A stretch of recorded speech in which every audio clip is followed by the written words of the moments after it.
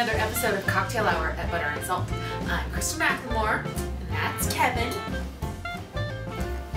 And today we're making a beach cruiser. See that? Does that work? Yeah. Which is rum, cranberry juice, and pineapple juice. First, we need one and a quarter ounces of spiced rum. One and a quarter. We need four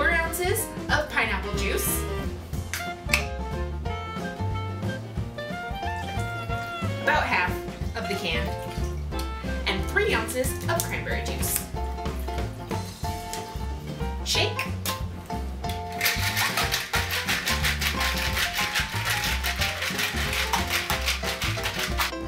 And strain. Look at that most delicious drink.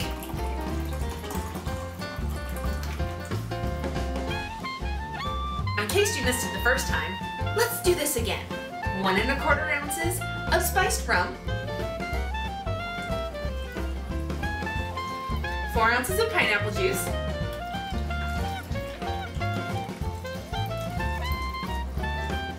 and three ounces of cranberry.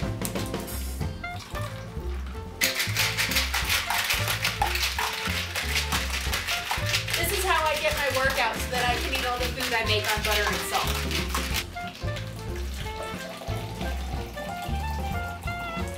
There's more rum in that one. That's fine.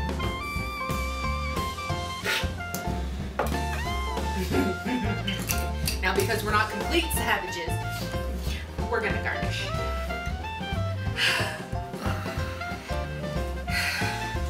Enjoy!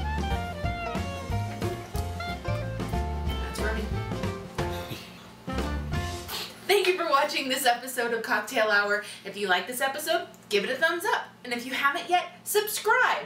If you want to see last week's episode where we made a hard Arnold, or butter and salt, where we made a fruit salad, practicing our knife skills, click the links next to me. And until next time, see you later. Mmm. I think I might have to change the name of my show. It's no longer going to be called Cocktail Hour. It's going to be What the F Can Krista Make with Rum This Week?